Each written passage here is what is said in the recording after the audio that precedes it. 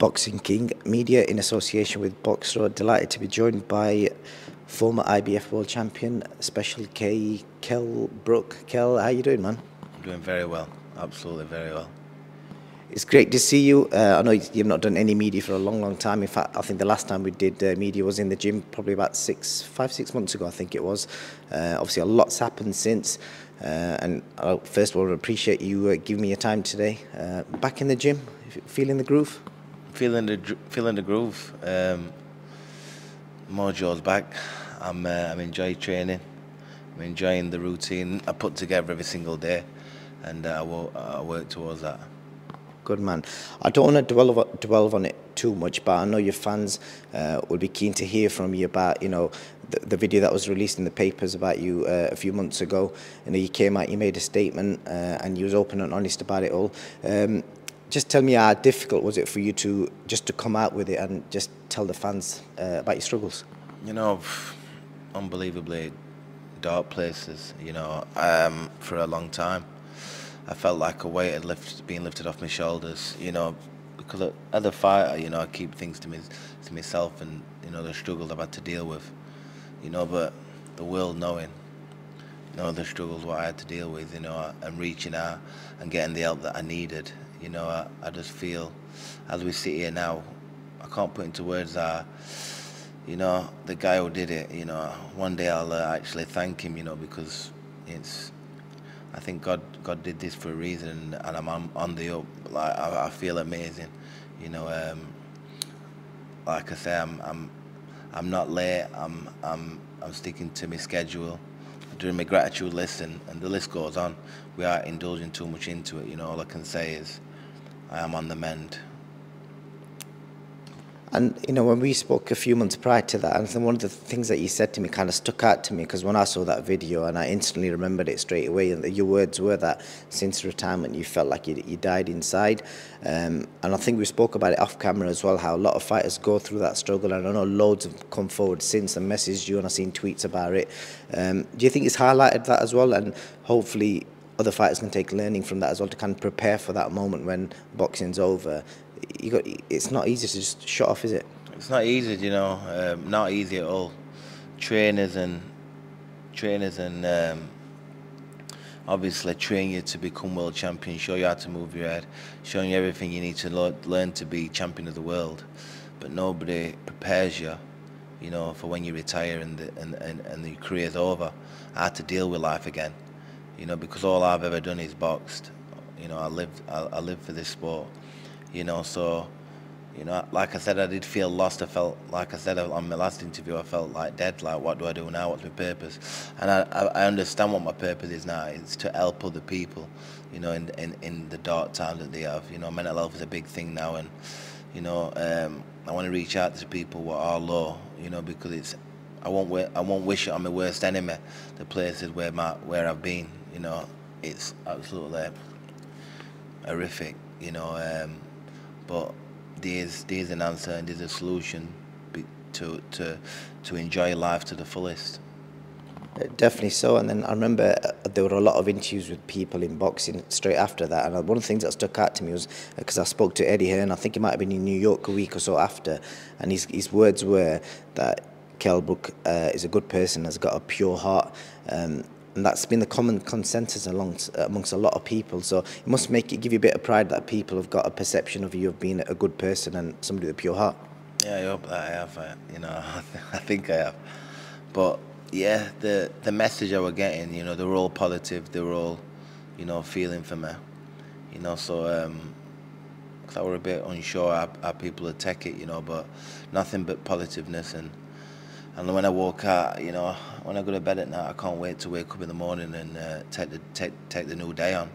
You know, uh, taking the girls to school and just being being relevant, being there, being on time, not letting people down, reaching out to to others what are down. You know, and um, you know that's that gets me through a, through a day, one day at a time. Definitely so. And the, the last thing on, on this whole subject, any short bit of advice you can give to any fighters uh, preparing for retirement or any advice you can give them uh, regards to how you felt at that time that you, you felt you know the answer was drugs at the time but now you've obviously found a, a solution to it all yeah i think that you know i think that when you know that say if you don't know if you get an injury, a, a, terrible injury, and you can't fight again. But if you know that you're gonna come, you know it's your last fight, you're coming to a, to retire.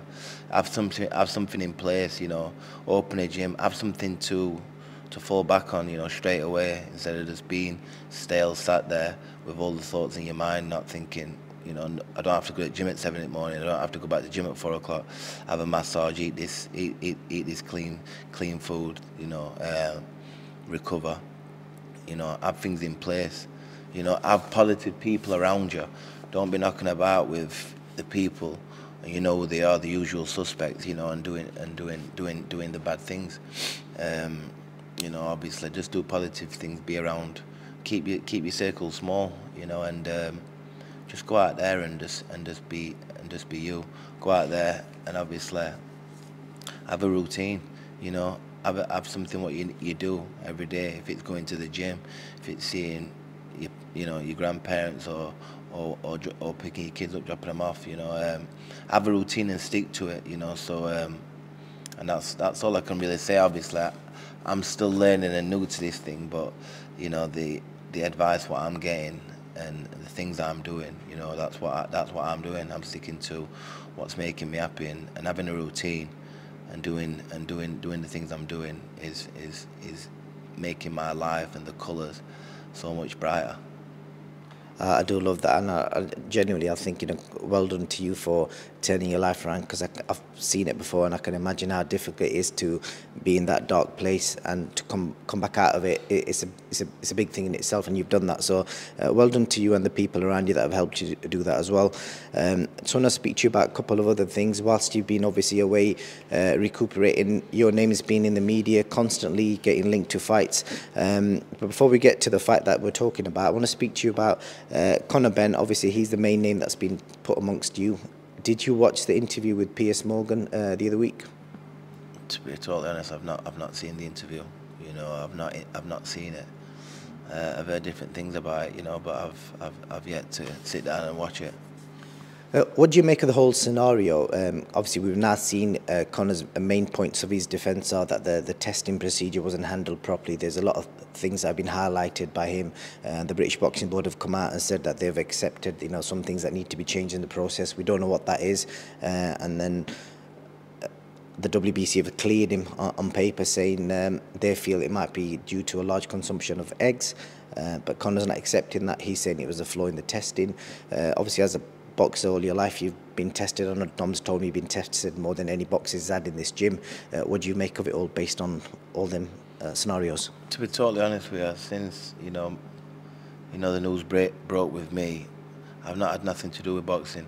I've just been co concentrating on myself, getting myself right. You know, I've I've not been, I've not been really indulging into the boxing scene, but you know, I don't I don't know enough about it to actually comment. You know, on you know, the samples and, and, and the eggs and, and everything else, you know. All I'm hearing is, you know, he failed the drug test. You know, that that's all I'm hearing. So I can't really elaborate too much on this on this matter. That's a fair point, uh, Kell. I respect you for saying that. Uh, and then obviously the obvious question is all your fans. We've seen you back at the gym today, still looking sharp, and you're still looking like you've got the pop there. It's probably very early, but how realistic is it? You know, have you got the hunger? C could we potentially see you back in the ring? You know, I'm enjoying it. You know, I'm a keep fitter. You know what I mean? I'm in keep fitter. I'm retired, but listen, I mean, I'm enjoying it. I'm enjoying it, and I think if I if if I carry on doing this, you know, once a fire, always a fire. You know, so all I can say, you know, if you know, uh, Conor's been putting a few things out there, you know, back and forth, me and him. So if listen, I'm up, I'm up for discussion. If his boss Eddie wants to get in touch with me, you know, and uh, and pays me in my service, mega, mega. You know, I'll come out of retirement, baby. I'll come out of retirement and uh, and show you and show you, boy, how to do it. Well, talking of that, Conor tweeted last time we tried to make this fight, uh, he chose retirement. It must have been that sparring session. Just talk to me about that sparring session. What do you remember from it? He knows what happened in that sparring session. You know, he's just he's trying to just prod and push at me know, for a reaction. He knows exactly what happened. You know what happened in that sparring session. We're supposed to do 10 rounds. You know, he got out after eight rounds saying that his shoulder's hurting and this and that. Because I was bringing the heat, and he, you know, he didn't want to be in that. He didn't want to be in that fryer. He wanted, he didn't want to be in that fryer. He wanted to get out. So he knows what happened. Sims knows what happened. His trainer, you know, you know, my dad knows what happened. He was there. So listen, forget sparring, forget all this. You get, you getting me excited here. Listen, Eddie, come and see me. We'll have a discussion. Well, you replied saying, Who are you kidding? You're the one who cut the sparring short. Don't flatter yourself, pussy. That's what you retweeted last night. Yeah, true. You know, listen, when so end of the day is just I don't know if his fight with Pacquiao fall through or whatever's happening. He's just he's prodding and picking at some fighters. I've seen some at women's Spence. He's trying to come at me. Listen, you know, if it, if it makes sense for me, and I do get that mojo back, because at the minute I'm just a keep retired, keep fitter, you know. But I will get them gloves back out. I will put them boxing boots back on, and we will dance, as long as them Benjamins are right interesting stuff. I'm pretty sure the fans will be excited for that. Um, just to wrap up, any final message for Conor Benn and Eddie Hearn? Camera's yours. You tell them what you want to tell them. Listen, you know where I am. I'm in Sheffield. I think um, Eddie know, Eddie's got my number. That's all I'll say. Listen, if we sit down and I get excited, you've got to excite me. You've got to excite me, Eddie. To get, because I've got my slippers on now. I'll take my slippers off. I'll put my running shoes back on. I'll show y'all by what time it is. Interesting stuff. Uh, anything else you want to add, uh, Claude, before I let you go? Nothing to add. You know, I'm just going to get on with my day now. I'm, I'm positive, I'm excited. I'm going to go out here, to have a shower and talk to my beautiful mother. Good man, Kell. I wish you all the best and uh, whatever you decide to do in life. And uh, I think the fans are behind you with whatever you're, you're doing and uh, how your life is at the moment. So uh, wish you all the best, man. Thank you. Thank you.